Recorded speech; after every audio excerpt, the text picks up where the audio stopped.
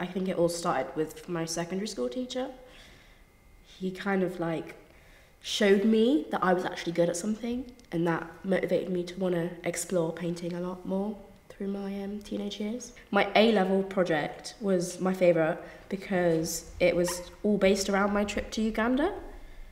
So I went to Uganda two weeks before COVID hit, and that was the only material I had. So everything I did in my A level, every painting, every photo I took was all based around my adventure and my journey through Uganda, I guess. And it was just worked really well for me and I really enjoyed it. I tried to like capture the essence of a person without having to draw them realistically. And I used all sorts of mediums. I used oil, acrylic, chalks, like I turned chalks into paint at one point. And I'd like to combine them all in my pieces and it would, I don't know, it would be quite layered and I'd enjoy doing that more than just choosing one medium. I think portraits are quite scary, you know.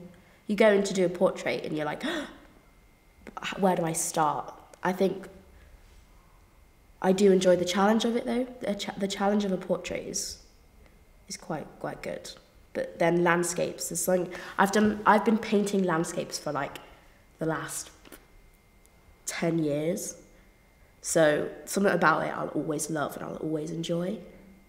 But right now, I think doing portraiture is a, is a quite a good challenge for me to take on, I guess. I would rather draw reference from a photo I've taken myself or from a moment I've seen myself than from another artist's work. I think using them as an inspiration is amazing, but always generating your own personal take on something is a lot more important. You know, that's I guess how you become an artist is your own journey within the materials and with your experiences. My style and my brushes and my materials, they have their own like story, do you know what I mean? And like there's certain brushes that make these certain marks, and if I if I want that mark in this piece, I know that that brush will create that that vision that I have because of like how much I've used them and how much experience I have with this tool.